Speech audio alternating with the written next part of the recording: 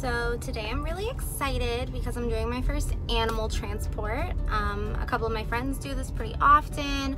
I see it a lot on Animal Planet, like Amanda to the Rescue, and I've been trying to do this for a while. I signed up for the Doobert app a little while back, but all the transports have been pretty far away, so I haven't been able to do them, but yesterday on the email, one popped up in LA, so today I get to go take four little kittens from Stray Cat Alliance over to No Kill LA so they can find their forever homes.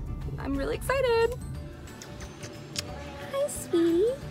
Look at your little face. Look at his face. Oh, Baba. I'm just so cute. I'm just so cute. Listen to the purse. Look at you. Oh my gosh.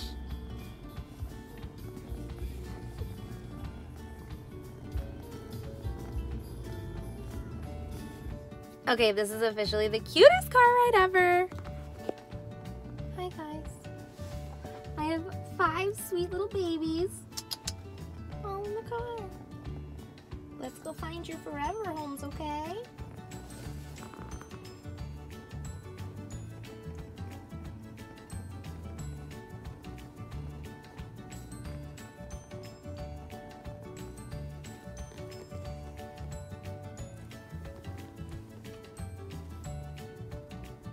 Baby panther. Let's go. Guys, go adopt somebody. Oh, so cute.